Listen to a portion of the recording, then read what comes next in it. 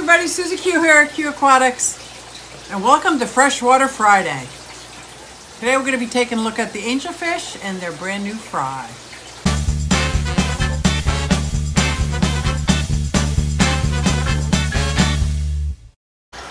So this is an older clip of when the angels were fertilizing the eggs. The male, the white one with the black stripes, is fertilizing. The female is laying down the eggs. And I was so excited. I wasn't sure if they were to bring these babies to life or were they to eat them. So check out what we have today. These guys are absolutely adorable. I can't even count them, but there's hundreds of them. And the last time that they got there, they're very good parents. They're very good parents.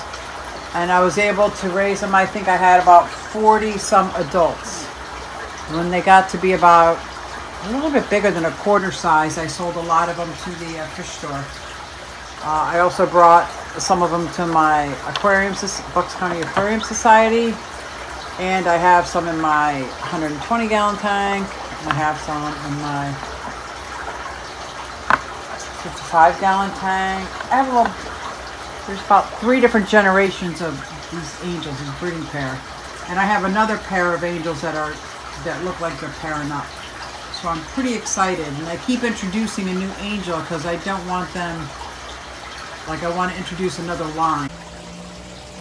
So being as this was my first fish that I was able to breed, that's where I came up with my logo. I was struggling for a very long time to figure out logos and the Q was a no-brainer. That's Susie Q.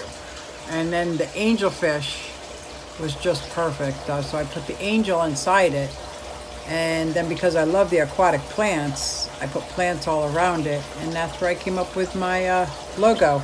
And thank you, Jadron, for my stickers now. I have stickers with my logo on it.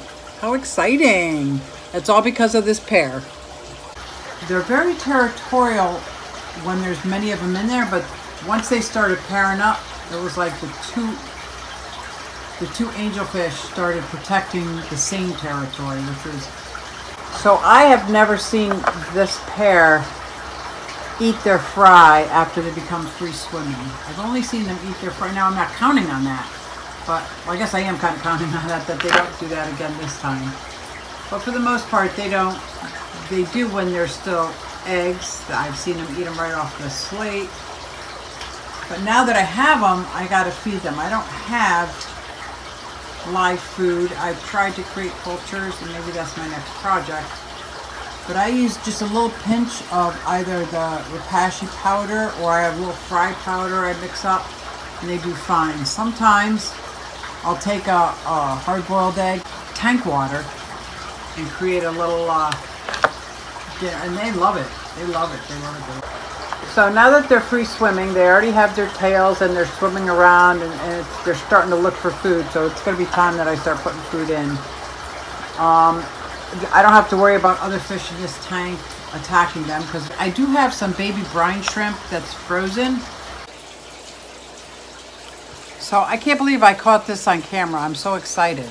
So these are the parents what they're doing is they're not eating their fry. They are capturing them in their mouth and spitting them off. It's like their way of gathering all the babies back together again. It's pretty awesome.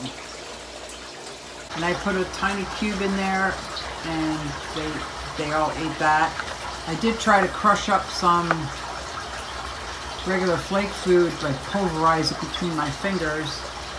I'm not sure if they ate any, but they, they were all swimming inside of it.